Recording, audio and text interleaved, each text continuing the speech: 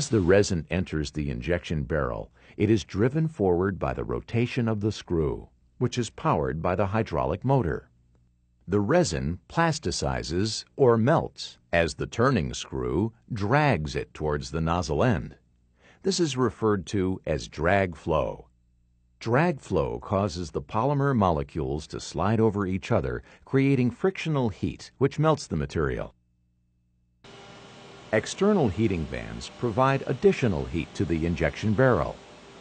The heating bands bring the material to its final temperature and compensate for the radiation heat loss.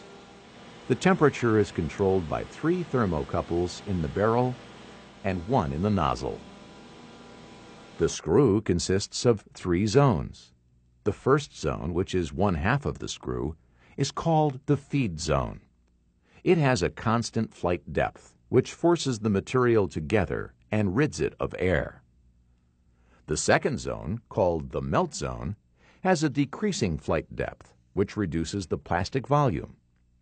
This causes the plastic molecules to rub harder against each other, plasticizing the material.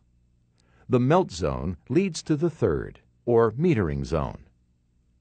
The metering zone has a constant flight depth much smaller than that of the feed zone.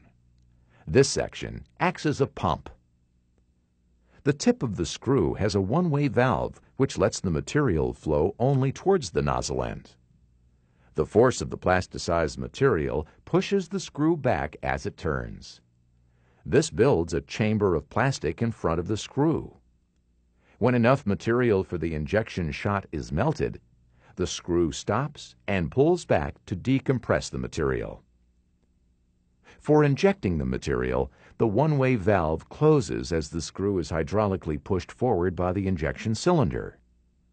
This sends the molten material through the injection unit's nozzle and into the injection mold.